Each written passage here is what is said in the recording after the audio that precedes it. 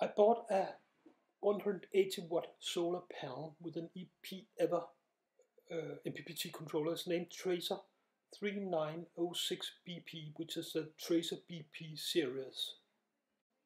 On their homepage, you can find this charge controller uh, version 195 monitor software that you can use on a Windows PC. So I download this uh, monitor and uh, try to get it configured First of all, you have to install the USB drivers and then you have to install the software itself.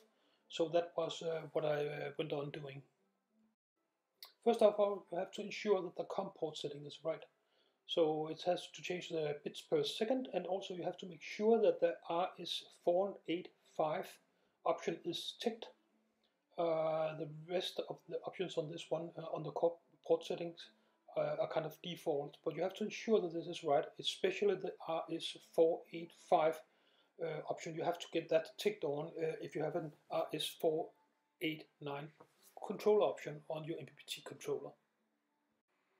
To get the Windows machine to be connected to the MPPT controller, you need a cable like this. So I just searched for it. It was in the manual, very easy. CC USB RS485 150U this is what the manual states, so I just searched for this cable and I found the cable, plugged it in and thought everything was working, but it was not working. So I spent many hours trying to get confused, trying to fix the COM ports, trying to mess around with the software, and I just could not get it to work.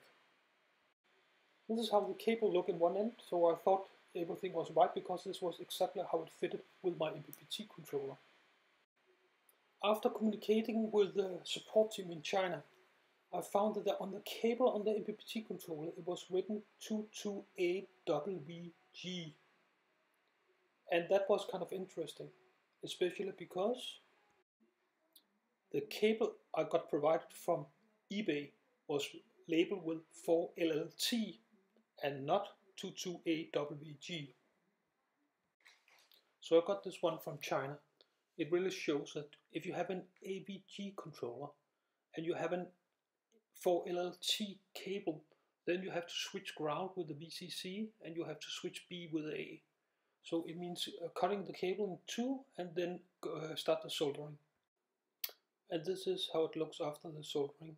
As you can see, the red and the black are switched and also the white and the yellow are switched.